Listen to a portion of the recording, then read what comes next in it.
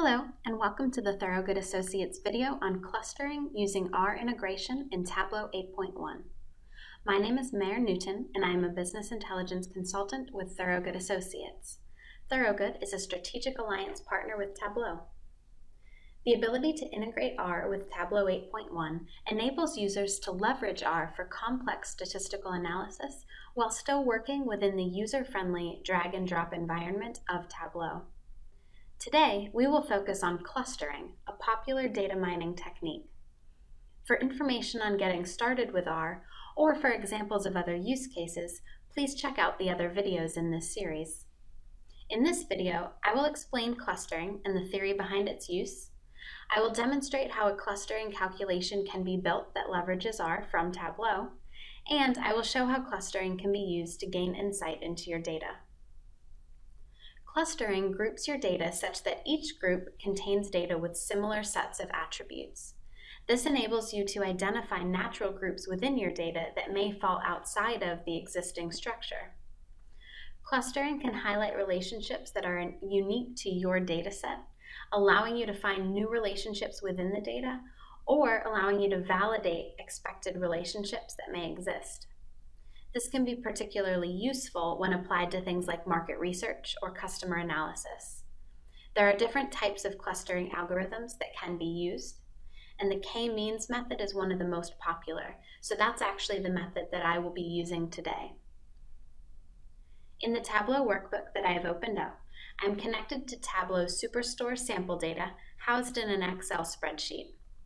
I added a customer dimension into the Superstore spreadsheet for use in this demonstration. So I've joined that new customer table onto my overall sales table, which you can see over in my data source pane.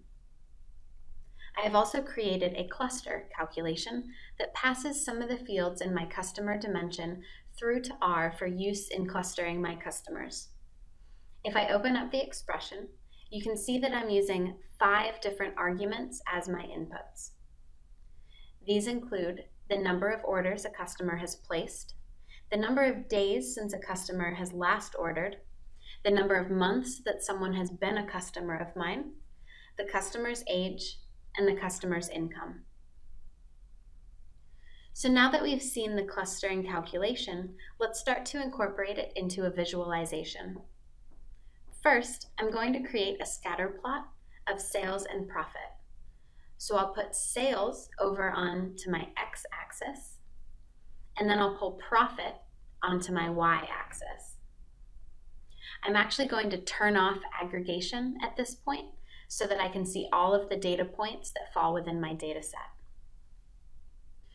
Last, I'm going to pull my clusters calculation onto my marks card as my color. You can see that my data points are now colored based on their cluster. From here, I can also add in trend lines and see my correlation for each cluster. At this point though, I don't know much about my clusters or the customers that fall into each. So to gain more insight into the composition of each of my clusters, I'm going to open up a new sheet and build some box and whisker plots. Box and whisker plots are another new feature of Tableau 8.1. For these plots, I'm also going to turn off my measure aggregation. And I'm then going to pull all of the inputs from my clustering calculation onto my column shelf. So I'll grab number of months as customer. I'm going to need age. I'll also need days since last order and then I'll pull on income. And then lastly, I'll pull on the number of orders. Then I'll pull my clusters calculation over onto my rows shelf. Now that I have my rows and columns in place, I'll use show me to convert these to box and whisker plots. I'm also going to swap my columns and rows back to the way that I put them initially. And I'll fit the view so that we can get a better look at these. Using my box and whisker plots, I can start to gain some insight about each of my clusters. I can see that a lot of my newer customers fall into cluster 3. I can also see that cluster 1 seems to contain a lot of my customers who have not ordered recently. So now that I know a little bit more about these clusters, I can continue on with my analysis to see if I can pick up any additional insight. Since my clusters consist of customers, I'm going to open up a new worksheet and begin to do some customer analysis.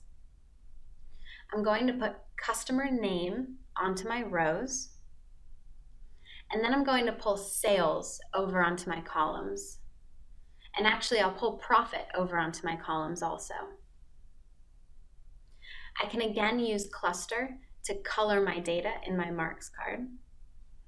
And since I have so many customers coming into this list, I'm going to click and sort these customers descending by sales so that my top customers come up to the top. Now I'm able to see pretty quickly that several of my top customers are falling into cluster one.